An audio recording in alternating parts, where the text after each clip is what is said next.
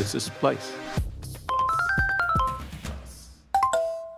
You're listening to a recorded session from Splice Beta 2022 in Chiang Mai. We've edited this, but only slightly. Hey, this is Rishad from Splice. This session is Jakub Parusinski, the co founder at the Kyiv Independent, on how a team of journalists was fired, reunited, and then went on to build the most important media startup at the center of the Russian Ukrainian war.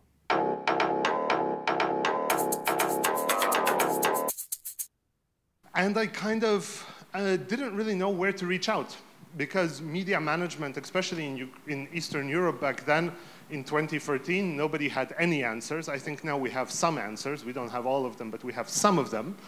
So I didn't really know what to do, and I decided that, okay, I need a management education. I actually came nearby to Singapore, reached out for managerial wisdom to anyone I could meet. That's, that's me in Bali asking the, the local monkeys for some managerial insights. Everyone has a good story to tell. Don't let anyone believe other, tell you otherwise. After that, ended up spending three years at McKinsey um, working on non-media stuff whatsoever, which was a very interesting experience. And yeah, McKinsey is a complicated story. We can get into that on the coffee break. Yeah, decided to come back to media, uh, this time with a focus on media management, launched a media consultancy, um, a media trade publication, some other startups that are mostly working in the media management space. And most recently became uh, one of the founders, investor, whatever you want to call it, technically playing the role of an acting CFO at the Kyiv Independent, and that is the lovely team that you see over there. Of course, it's not the whole team, it's the people who are in the office that particular day, but the photo is nice. Um, so, uh, as well as for the last 254 days, 255 days, um, working to support Ukrainian media overall. So what's the Kyiv Independent story? There was this publication called the Kyiv Post for about two, two and a half decades. It was the leading English language publication in Ukraine, quite uh, famous. I would say mid-sized media covering basically the world's window on Ukraine. And Ukraine is kind of a special country in the sense of it's in a Goldilocks zone for, for journalists. Uh, what do I mean by that? It's big enough that it matters, and there are regularly stories of international significance that pop up in Ukraine.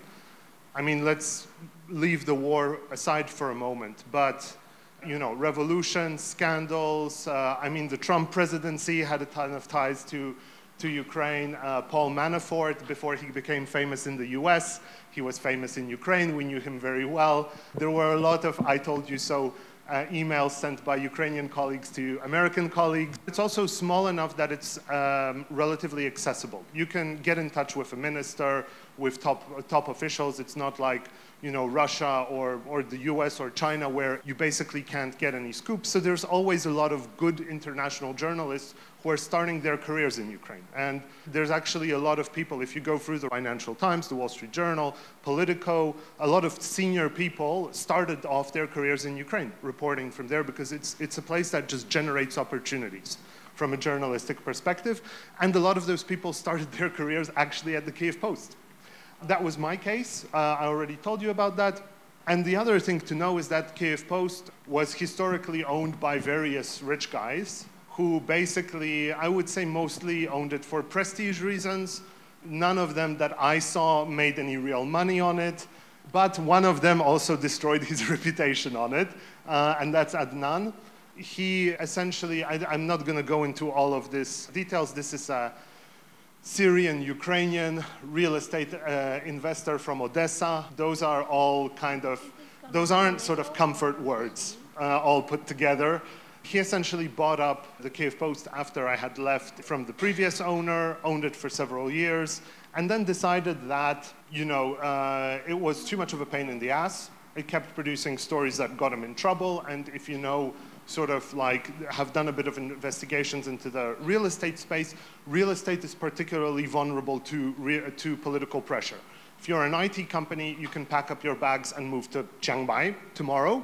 It's going to be a little bit difficult, but it's pretty all things said is pretty easy. If you've got a million dollar or 500 million dollar property somewhere, you, you're not moving that. And various regulations, delays, uh, administrative hurdles are going to be a huge pain for you. So basically, if you're a real estate investor, don't invest in, uh, don't invest in media that will get you in trouble with the authorities, right?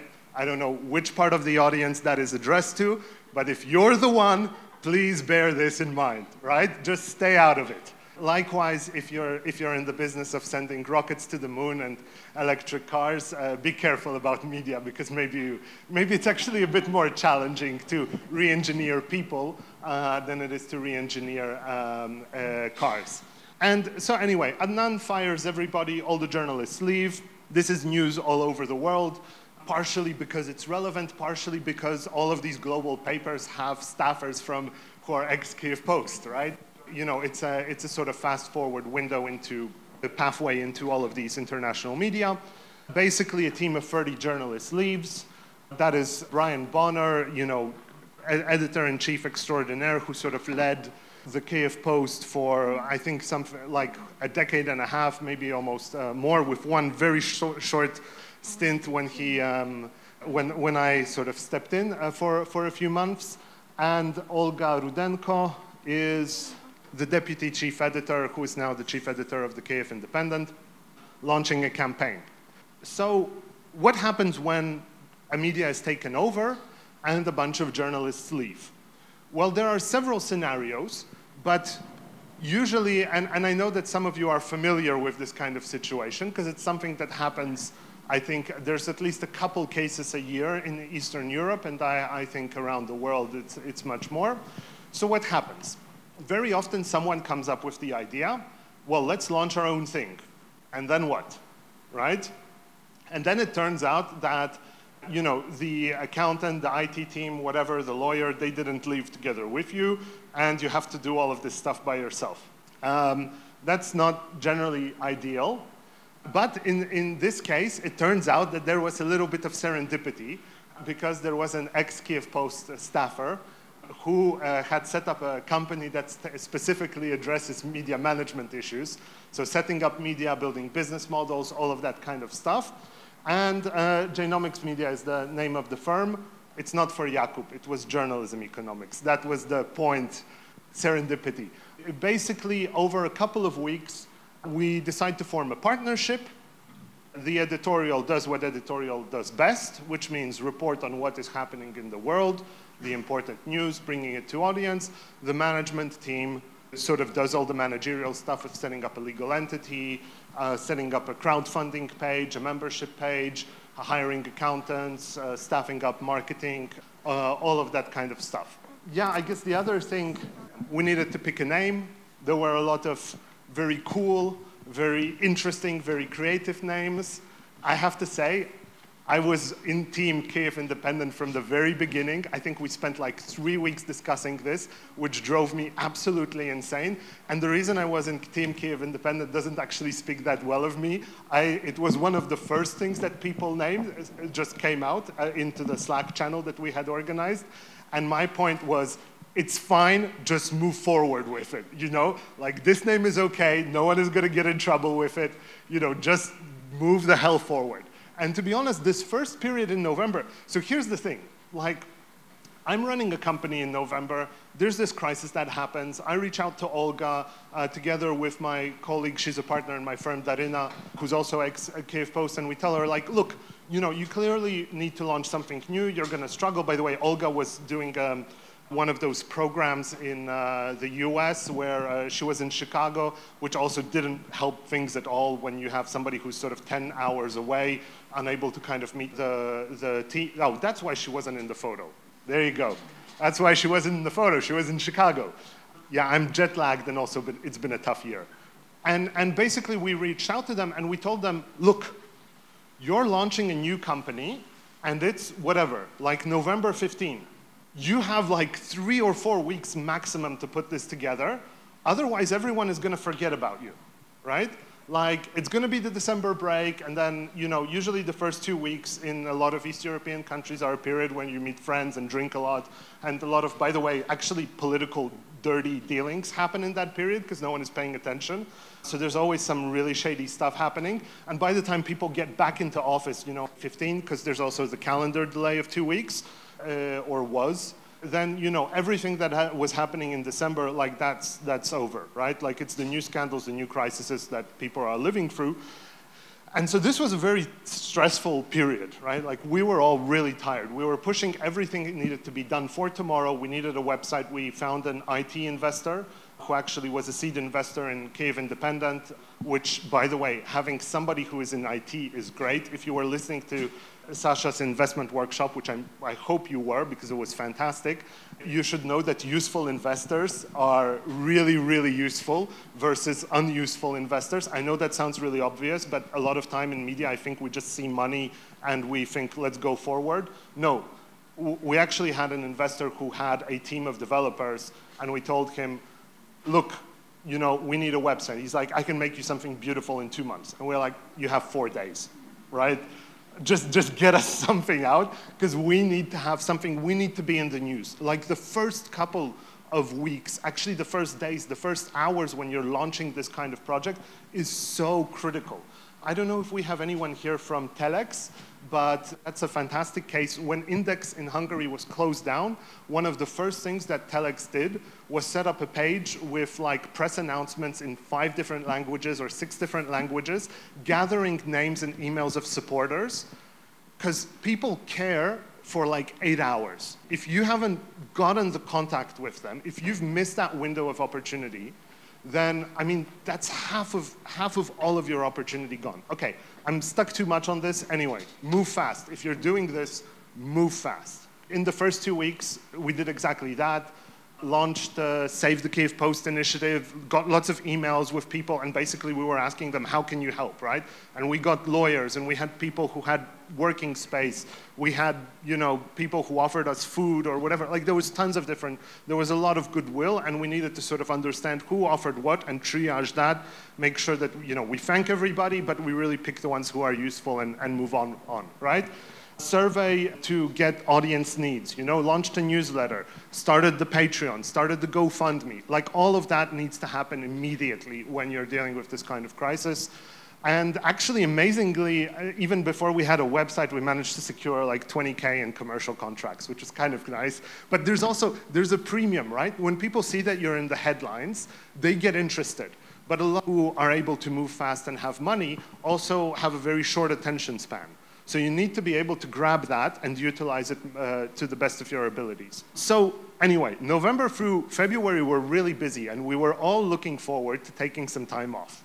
That didn't happen. Anyway, we had a team. Uh, as I mentioned already, there was the editorial team of the Kyiv Post, management from Jnomics Media, my team that was on the management side. Very briefly, so what, what, is, what is this media consultancy? I mean, I promised my team that I'll, I'll do this plug. So there's a couple of advertisements that are going to be part of this presentation. I'm sorry in advance. By the way, we're hiring, so you know. Um, so basically, we've been working all across helping media uh, with uh, mostly business, technical, marketing, people challenges, organizational challenges, ran a couple of transformations, did a little bit of work in Asia, and that's something that I would, you know, would really love to do more of. Do lots of, you know, basically we make PowerPoint presentations. That's what we do really well. I mean, I'm not saying these ones are, are that tremendous. We can definitely do better, but, but uh, that's kind of, you know, lots of nice PowerPoints with icons about strategy and business development and things like that. Worked with all, all a bunch of people. That meant that we also had an opportunity to do that for the Kyiv Independent. Uh, in that period, so in those sort of four to five weeks that we had to actually launch a, a company, one of the first things was, you know, we wanted to build a media that was one, a business. That was super important for us because there's a lot of grant-funded media. There's a lot of great grant-funded media in Eastern Europe, but they, most of them struggle through because of a couple of things that are endemic to a purely grant-based model. So we did reach out to a lot of donors and we're super grateful for the ones who said like okay yes we'll support you. But our idea from the very beginning is this has to be a business. Like this has to be a very successful business media. And for that we're going to need also private investors. So we put together a 50 page deck and a 9 page deck a 9 page deck for the ones who just wanted the, the top sort of like here's the headlines, a 50 page deck to show that we had done all of the sort of analysis. These are just sort of examples. That included slides like, you know, by the way, the formatting was perfect. There's just a Google Drive issue here. Like I would, I'm, I'm so ashamed of this. So, you know, we had done this audience survey, understood what were the needs of our audience, understood what we want to retain, what we want to manage, where we want to act, this is consultant speak for what you want to keep, what you want to do a little bit better, and what you can throw out. We looked at uh, what is our target audience, and we went quite granular. Actually, this is not even the most granular vision of it. It's the most granular one that you can read because the font size gets very small after that. But it was down to sort of like who are all of the sort of different groups, subgroups that we have in our audience, what channels do they use, and what is the monetization potential of each of them right? Also very important. Like, what is the monetization potential that you're going to put on every single piece of your audience? Because they're going to be different. You know, one of the big challenges of running a media company, in my, my experience, is that you have to be quite versatile in sort of building a very matrix kind of approach in terms of monetizing different pieces of your audience that work under different um, circumstances. Of course, you need to have the big view, but you also need to prioritize. So we looked at what was easy to implement, what were the results. Again, a very sort of consultancy kind of approach. So what are you doing in the first three months? What are you doing in the next six months? What does your competitor analysis look like? Why are you in the top right corner? By the way, if you're making slides for investors, your media always has to be in the top right corner. That's $5,000 of free consulting advice right there okay? So, and then, you know, how do we market, you know, this user engagement funnel, et cetera, et cetera. I think we had a pretty good plan. We had money, we had contracts coming in, we had a team, and then basically Putin declares war on Ukraine.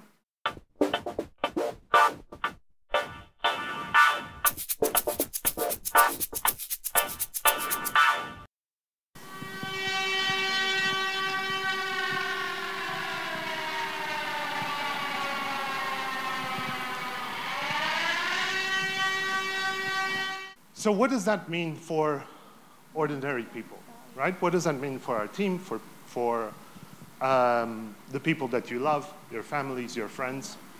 It means that you hear that sound two times a day, five times a day, 15 times a day, and then you have to run to the nearest shelter. It can be a parking lot, it can be the basement of a hotel, of a cafe, by the way, one of the first things that all of the journalists who work in Kiev know these days is which cafes to go to because they have good bomb shelters downstairs where you still have access to Wi-Fi and things like that. If you're at home, it means that you have to have at least two walls. What does that mean? It's basically you don't want to be in any room that has a window directly. All the windows of everyone I know are taped over because if there's an explosion nearby, it bursts in, it cuts you up. If the drone, missile, whatever artillery uh, hits your building, there's a much higher chance of survival if you have at least another room between you and the impact. That's a problem for journalists, but the bigger problem is that all the journalists have families.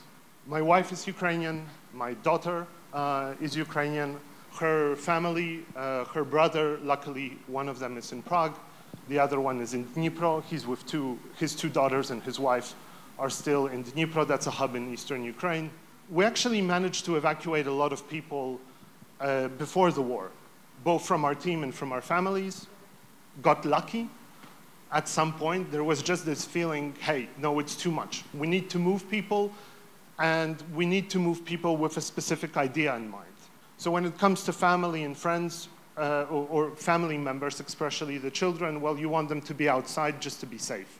When it comes to the media organization, it's a bit difficult. We're a young team.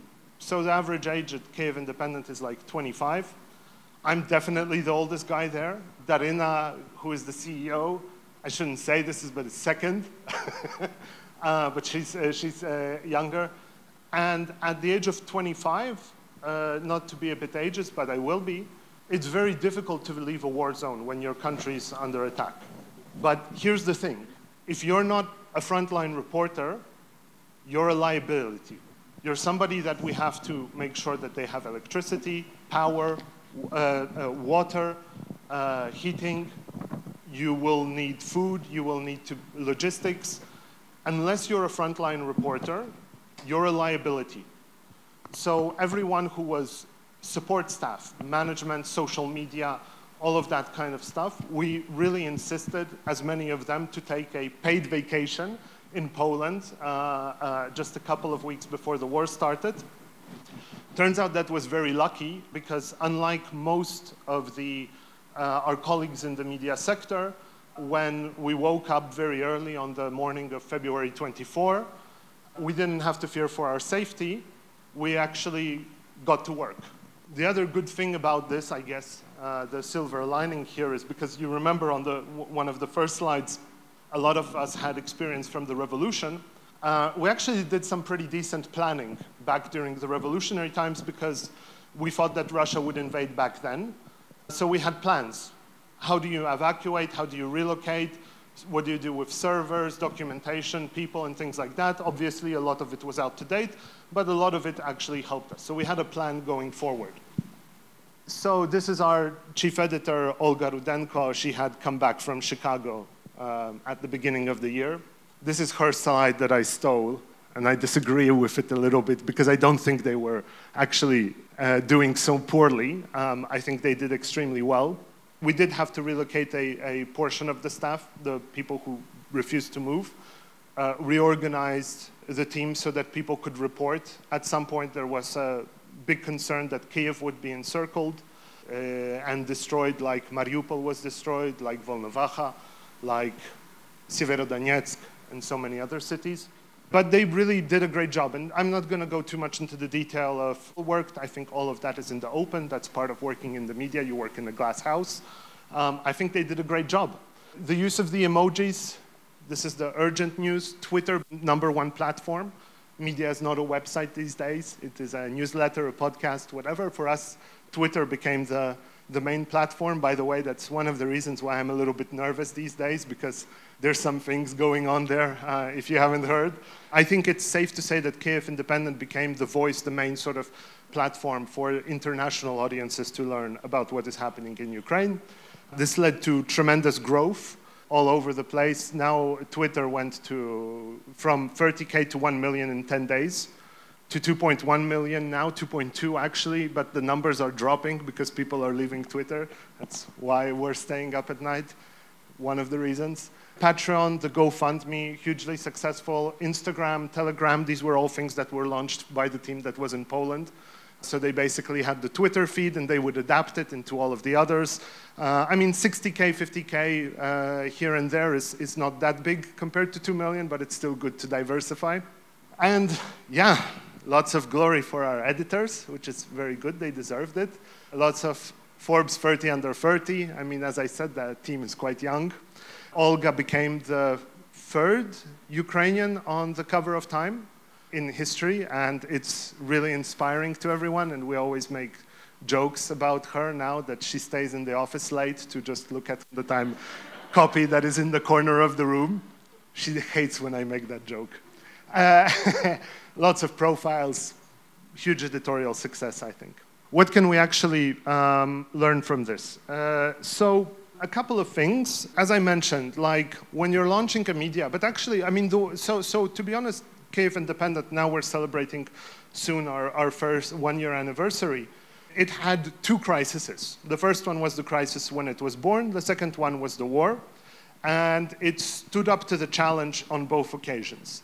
And for me, this is a very big lesson because, you know, however much planning and fantastic PowerPoint slides you put together uh, to run a media, it really matters what you do, how you react to crisis. Because when a crisis happens, people's eyes turn to us. If we're doing nothing, if we're thinking about something, they will turn somewhere else.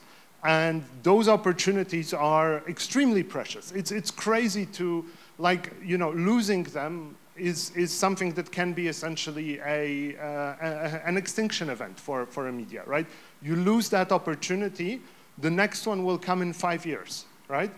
I, you know, it's crazy to think about the, the, uh, such horrible events, but as a media, these are also the moment that you need to react fast, quickly, be visible, serve your audience. Your audience has very clear needs in terms of uh, communication, and I think that's one of the other things that was a tremendous achievement, really an incredible achievement, I, I would say mostly by Olga here, is that with a very young team that is not just went through this crazy thing of launching their own media, which was very emotionally draining, but also has been attacked by the second army of the world, as it was I don't think it no, any longer qualifies there, but it was the second army of the world. And that is seeing a genocidal war where you have clear, clear messaging from government officials, state media, absolutely like it could not be more transparent, and all of the very calm and stolid researchers have no ambiguity on this. It is a war that is meant to wipe out the nation. Amidst all of that, they kept their cool.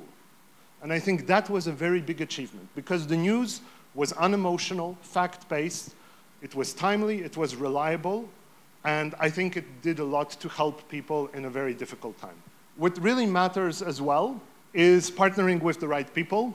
So, okay, I think they had a good management team. That's, you know, that's uh, my, my sort of claim to fame. But what I want to highlight here is actually our other a bit more silent partner, not because we're ashamed, it's just we haven't had the time to properly announce it. That's the, that's the truth of it.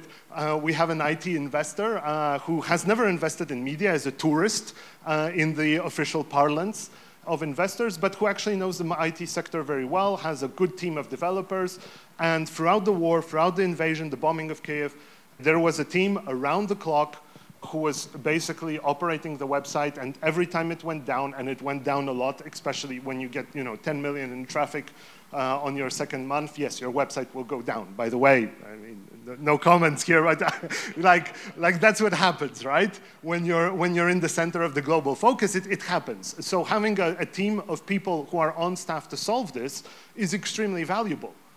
Like i don't actually at this point care about the money that they gave us. What was really valuable is that we had that team of people. We didn't have them internally.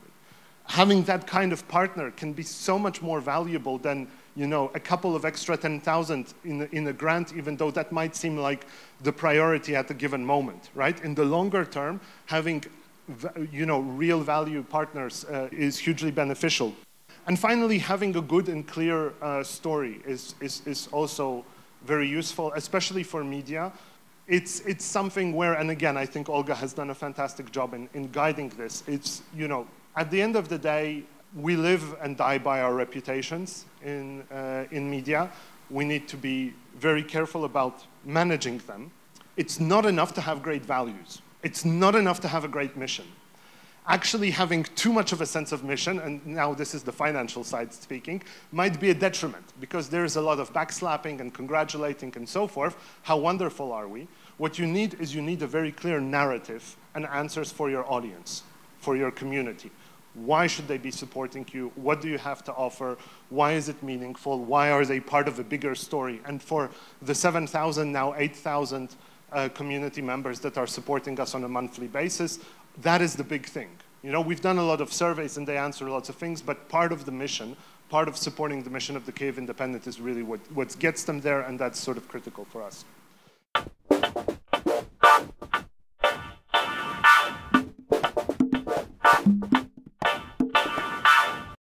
The rule in um, our company at uh, Jnomics is that we want to help the world, but first you need to take care of yourself. So the order of priority is you, your family, your team, your organization, the rest of the media sector. We actually had a very practical case of implementing that.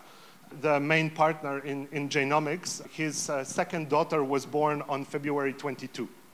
the nightmare that he went through, his wife trying to leave Ukraine, by the way, with Turkmen passports, that doesn't help, just in case you're wondering. That's com competing with North Korea for the worst passport in the world.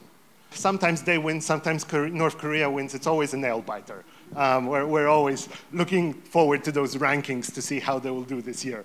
Just that was, that I can't imagine. Like, all the embassies left, they relocated to the Turkmen embassy for a moment. She did.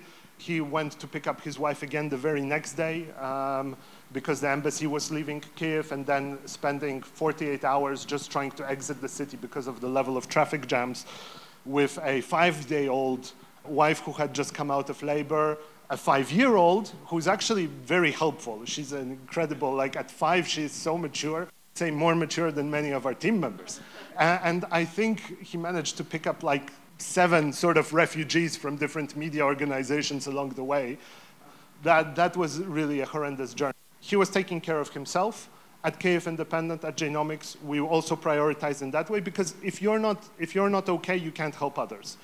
We were lucky. We actually had a large part of the team that was abroad. We managed to secure the financial side of the Kyiv Independent in the first few hours, actually, of the, of the war. The first few days, we knew that we would be okay until the end of the year.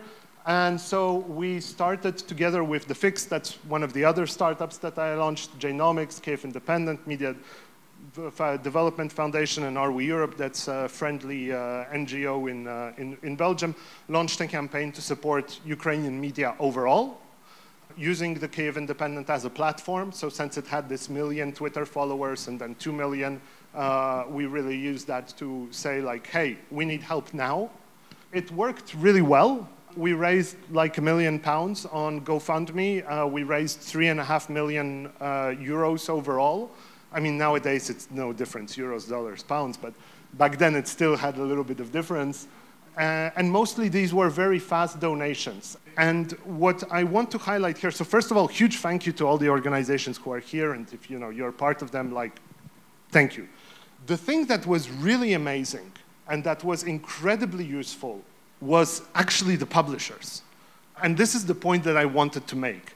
Our goal with this campaign was to move fast to help all of the media that might have urgent needs on the ground immediately.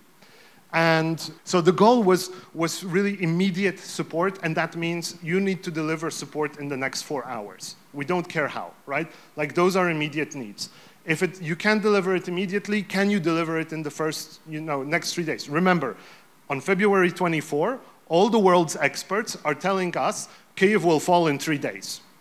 And we're like, okay, so what can we do in three days, right? Like, what can we get into Kyiv that will be helpful in some way to the journalists who will be locked and potentially lost there that can be of some value, right? Like, how do we utilize these 72 hours?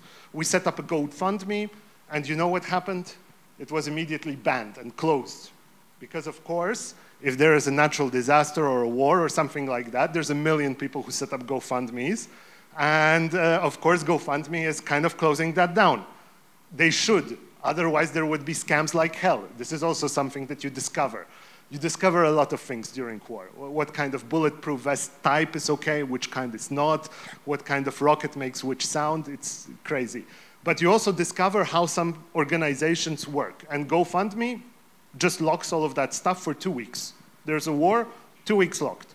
Thanks goodness we had one that was operating. We had a Twitter account that was incredibly loud, and we immediately wrote to GoFundMe saying like, hey guys, how about you don't block the website when it's like, you know, and this was 11 o'clock on the morning of February 24 right? Uh, the team in San Francisco, actually very senior team, got back in touch with us within two hours.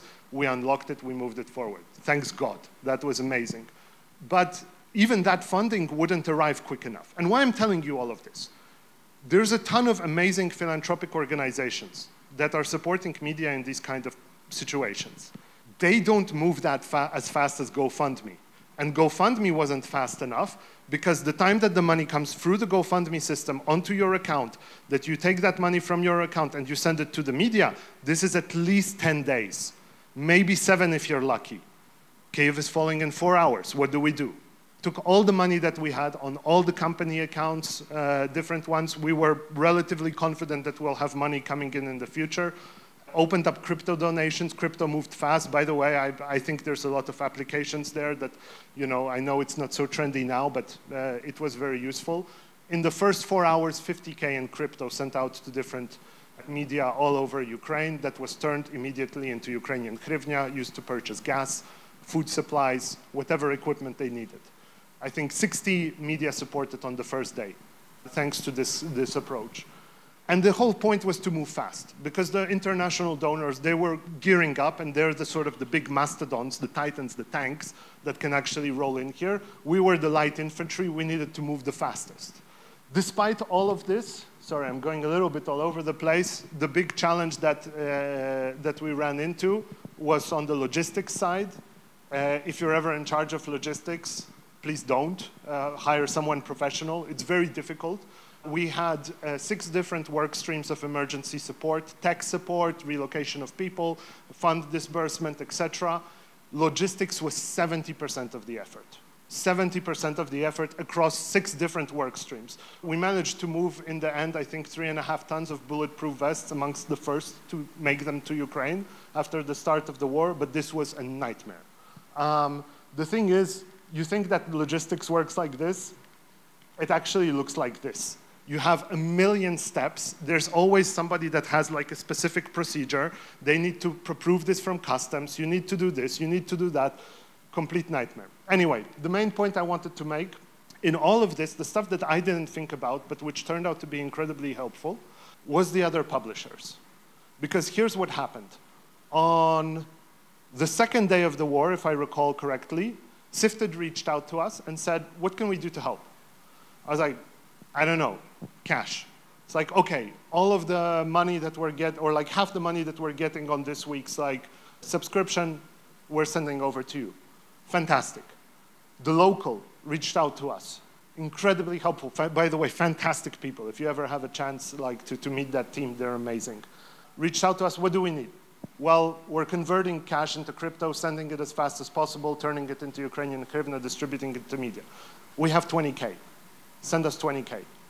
It was a 15-minute discussion. No donor can move like that. And not because they don't have the right intentions. They don't have the administrative capacity to do that. Publishers, private entities, for-profit entities, can have those, that kind of uh, reaction. What was amazing is that this then led to a cascade of different partners, step, uh, the publishers stepping in. Uh, the big one was Axel Springer with half a million uh, that we turned into bulletproof vests, level four, with on both sides the plates, very specific. I think I can still remember the measurements because you need to get them through specific routes and things like that. This was such, a, such an aid. And I think I want to stop on, the, on, on this point look, crises happen, wars happen, disasters happen. Media, we're, we're pretty weak as an industry, let's be honest. We, we're not rolling in cash. We don't have the resources that a lot of other industries have. But there's also a lot of, a lot of, but that doesn't mean we don't have anything. And I think the solidarity and the support between publishers uh, specifically um, is really something amazing. And if you have the opportunity to help others, um, really do so. Like, I think we just come out so much stronger, and to those who did help us, I'm incredibly grateful. And that's it.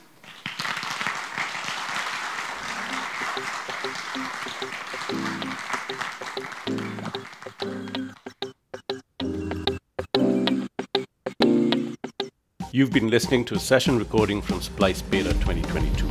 Let us know what you think. You'll find us on splicemedia.com. This is a Splice podcast, and it's produced by Norman Chella at Podchaser. We'd like to thank our sponsors Google, International Fund for Public Interest Media, International Media Support, Konrad Adenauer Stiftung, Luminate, Media Development Investment Fund, Meta, and Telem Media. This is Splice.